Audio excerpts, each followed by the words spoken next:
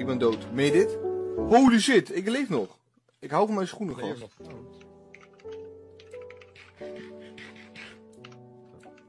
Bro, hoe ver ben ik naar Ik beneden aangevallen hoor. Ik ben nu wel dood.